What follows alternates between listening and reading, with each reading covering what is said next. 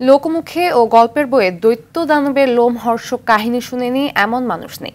এবার সেই দানবের চাক্ষুষ দেখা মিলবে কক্সবাজার সমুদ্র সৈকতে, যেটি প্লাস্টিক দূষণে প্রাণ প্রকৃতির বিরূপতার সাক্ষ্য দিচ্ছে। স্বেচ্ছাসেবী সংগঠন বিদ্যানন্দ ফাউন্ডেশনের উদ্যোগে সিগাল পয়েন্টে প্রদর্শিত হচ্ছে প্লাস্টিক বর্জ্যে তৈরি এই দানব ভাস্কর্য। দূষণে সচেতনতা বাড়াতে এমন উদ্যোগ বলে জানান আয়োজকরা। কক্সবাজার প্রতিনিধি সাইফুর রহিম শাহিনের তথ্য ছবিতে রাসেল মান্দের রিপোর্ট। ভয়ঙ্কর এক দানব ঠাই দাঁড়িয়ে সৈকতের বালিয়ারিতে প্রথম দেখায় যে কেউ আতঙ্কিত হলেও কাছে গেলে তা নিমেষে কেটে যাবে।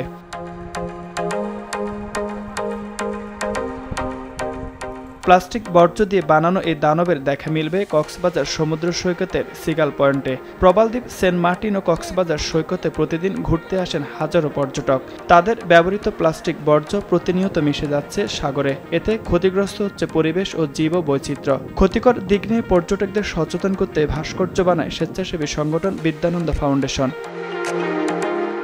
আসলে কি, যদি একটা নির্দিষ্ট একটা জায়গা থাকে এখানে, পর্যটকরা ফেলবে, ডাস্টবিন। ডাস্টবিনে ফেললে হয় কি পয় পরিষ্কার থাকে। আসলে আমরা যদি ঠিকমতো পরিষ্কার পরিচ্ছন্ন না রাখি তাহলে তো সবাই তো মানে যা পর্যটকরা যদি না রাখি তাহলে এটা করা সম্ভব না। আমাদের উচিত নির্দিষ্ট স্থানে ডাস্টবিনে ময়লা ফেলা। আমরা যদি সচেতন হই তাহলে হচ্ছে এই যে পলিথিন প্লাস্টিকের যে বর্জ্য তারপরে হচ্ছে যে কপির যে হচ্ছে বর্জ্যটা সেটা যদি আমরা নির্দিষ্ট জায়গায় রাখি অথবা ফেলি সেটা হচ্ছে আমাদের এই বিচের সৌন্দর্য পরিবেশ এবং সবার জন্য সেটা আমাদের রক্ষা হবে। কক্সবাজার বাংলাদেশের গর্ভস্থান। এখানে আমাদের ময়লা আবর্জনা ফেলা উচিত নয়। ফেললে নির্দিষ্ট স্থানে ফেলা উচিত। প্রোডাক্ট আছে চিপসের প্যাকেট ড্রিঙ্কসের প্যাকেট এই ধরনের ওয়েস্টেজ বিচে প্রচুর করা হচ্ছে। যেসব ওয়েস্ট প্রোডাক্ট আছে ওগুলোকে আমরা রিসাইক্লিং করতে পারি। প্লাস্টিক দানবটি রূপ দেয় ঢাকা বিশ্ববিদ্যালয়ের চারুকলা বিভাগের একদল শিল্পী। তাদের দাবি এটি এশিয়া মহাদেশের মধ্যে সবচেয়ে উঁচু প্লাস্টিক দানব।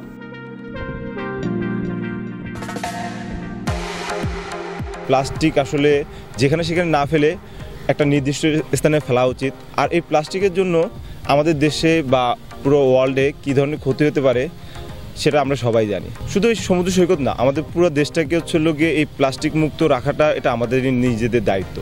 এই প্লাস্টিক মুক্ত দূষণ করা নিয়ে হচ্ছিল গিয়ে আমাদের এই কাজটি, যেটা হচ্ছিল বিদ্যানন্দ এবং এখানকার জেলা প্রশাসন মিলে এই কাজটি করতেছে। যে দানবটা তৈরি করা হচ্ছে, এটা এশিয়ার মধ্যে সবচেয়ে বড় একটা দানব।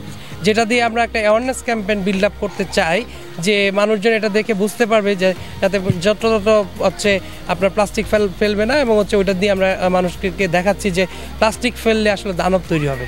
ব্যতিক্রমে ভাস্কর্য দেখতে ভিড় করেন পর্যটকরা। সচেতন হচ্ছেন তারা। অনেকে এই কার্যক্রমের প্রশংসাও করছেন। পর্যটকবাসী এই- এই সময়ে এই কক্সবাজার সমুদ্র সৈকতে আসেন।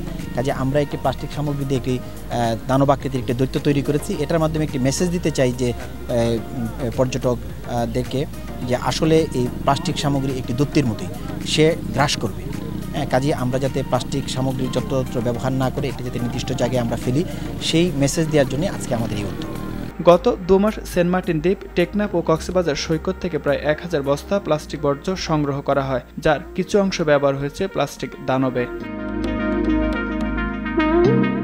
রাসেল আহমেদ আর টিভি